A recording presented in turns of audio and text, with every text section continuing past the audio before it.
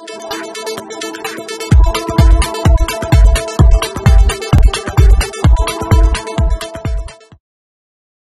sviluppo territoriale della Puglia passa attraverso la mobilità sostenibile, grazie agli investimenti di infrastrutture e mezzi all'avanguardia, e quanto emerso dal focus group in Fiera del Levante sui trasporti e la mobilità.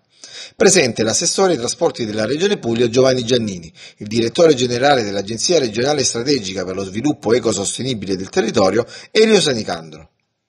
Grande ottimismo, ma soprattutto numerosissime le azioni già compiute per ciò che riguarda il trasporto su gomma, con l'investimento per nuovi pullman extraurbani e fondi per l'acquisto di bus urbani ecologici, l'ammodernamento e il potenziamento della rete ferroviaria, l'importante interconnessione tra RFI e le ferrovie private, dove ad esempio nel Salento l'interconnessione tra Ferrovie Sud-Est e RFI porterà ad ottenere un reticolo tipo metropolitana di superficie. Ma non è tutto, sono in arrivo anche nuovi mezzi.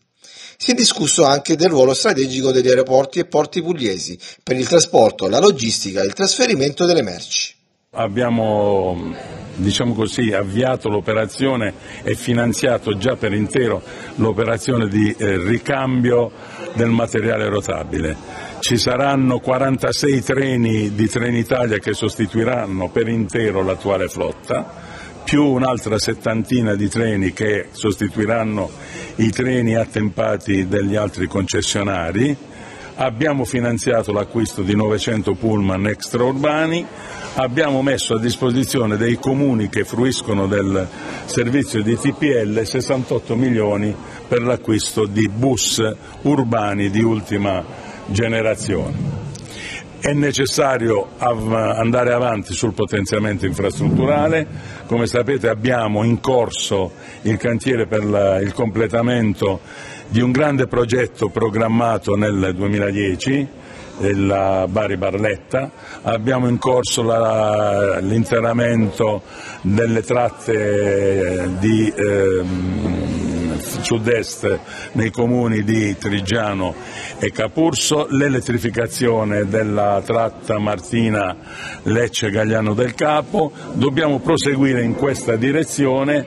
e programmare per esempio il collegamento elettrificato di eh, Lecce con Gallipoli in modo da mettere in relazione lo Ionio con la, il versante adriatico. Sicuramente nell'ambito del piano strategico regionale, cioè il, il piano che traccia gli obiettivi, i programmi futuri della Regione, la mobilità rappresenta sicuramente uno dei temi fondamentali. Eh, noi stiamo lavorando già da tempo sul tema della mobilità sostenibile, quindi diciamo, sull'implementazione del trasporto pubblico, trasporto